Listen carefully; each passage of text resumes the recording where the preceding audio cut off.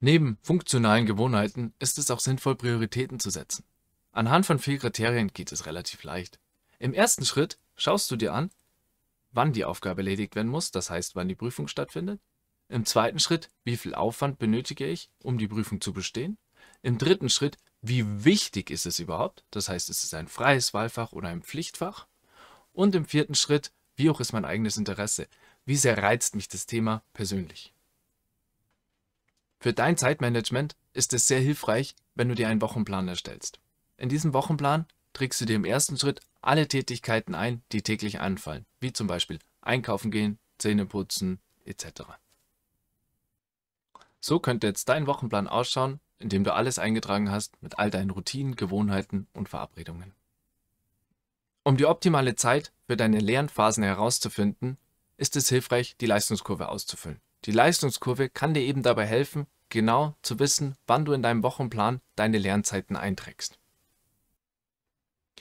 Hier siehst du ein Beispiel für eine Leistungskurve. Die Person, die diese Leistungskurve ausgefüllt hat, ist vor allem vormittags und spät nachmittags, abends leistungsfähig und hat beispielsweise jetzt mittags ein Leistungsloch.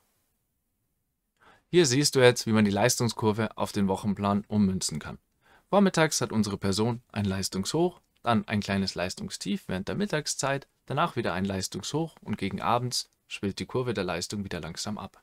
Damit du dich selber in deiner leistungsfähigen Zeit nicht durchgehend unter Druck setzt, ist es sehr hilfreich, die 60-40-Regel anzuwenden. Das heißt, von der leistungsfähigen Zeit nimmst du nur 60%, Prozent, die du dir einplanst für geplante Sachen und 40 Prozent bleiben dabei als Puffer übrig.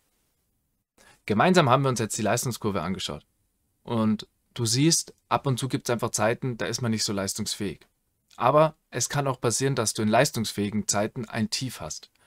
Hier würde ich dir dann auch empfehlen, nimm Abstand davon, mach eine Pause und zwing dich nicht dazu, sondern akzeptiere dein Tief und mach dann wieder weiter, wenn du dich bereit fühlst. Um aus den Tiefs wieder rauszukommen, sind Pausen natürlich ein hilfreiches Mittel. Im ersten Moment wirst du jetzt daran denken, ah ja, genug Schlaf, Essen, Trinken etc. Ja, das ist auch wichtig. Aber ebenso wichtig ist auch die Befriedigung der psychologischen Bedürfnisse. Das heißt, schau in den Pausen auch, dass du mal wieder etwas tust, was du gerne machst, was dir taugt ja, dass du wieder auf dich schaust, was du machen willst. Für dich ist es besonders effektiv, wenn du auch die Pausen- und Pufferzeiten in deinen Wochenplan einträgst. Hier siehst du ein Beispiel dafür. Hier siehst du die Lernzeiten, Langpausen und Pufferzeiten und auch kürzere Lernzeiten eingetragen. Neben kurzen Pausen, während dem Lernen mal kurz aufstehen, sich bewegen und weiterlernen, gibt es auch längere Pausen.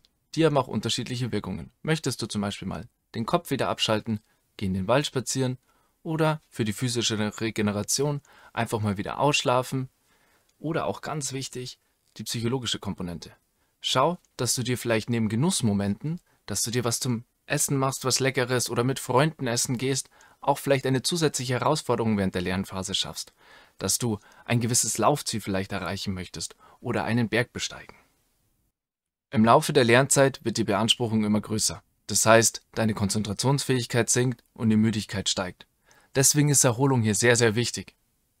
Es wird deswegen empfohlen, von 100 Minuten Arbeitszeit 90 Minuten für die Arbeit zu verwenden und eben auf diese 10 Minuten zu achten, dass man sich hier auch wieder erholt. Um genug Energie in der Lernphase zu haben, ist es hilfreich zu wissen, was einem Energie gibt und was einem Energie raubt. Deswegen siehst du hier eine Übung, die dich dabei unterstützen soll, dass du in unterschiedlichen Bereichen schauen kannst, was dir Energie gibt oder nimmt. Zum Beispiel in Freundschaften, Partnerschaften, bei dir selbst, bei, für dich persönlich, was gibt dir Energie, wenn du was machst? In der Freizeit, im Studium, im Beruf oder in der Herkunftsfamilie. Ein Energiegeber für dich könnte sein, dass du selber deinen Fortschritt visualisierst. Das heißt, du legst auf einen Stapel die unerledigten Sachen und immer wenn du etwas erledigt hast, legst du es auf deine erledigten Sachen. Das ist die analoge Vorgehensweise. Digital funktioniert das Ganze natürlich auch. Du legst dir einfach einen Ordner an mit erledigten Aufgaben an deinem Desktop und schiebst dann immer die Sachen da rein, wenn du etwas erledigt hast. Ein weiterer Energiegeber kann auch ein attraktiver Arbeitsplatz sein. Das heißt, ein aufgeräumter Arbeitsplatz, wo du genau weißt, wo was liegt und wo du dich wohlfühlst. Wenn du dir noch zusätzlich Energie holen möchtest, dann lade deine Freunde doch zum gemeinsamen Lernen ein, sogenannten Coworking. Dann lernt ihr gemeinsam, jeder unterschiedlich an seiner Sache oder auch gemeinsam am gleichen Ziel und ihr könnt euch über euren Fortschritt austauschen und gemeinsam die Pausen verbringen. Ein gutes Zeitmanagement zeichnet sich aus, dass du deine Gewohnheiten kennst, einen Wochenplan erstellst, deine Pausen richtig gestaltest und Prioritäten setzt. Schau dabei auch immer, dass du eine individuelle Lösung für dich findest.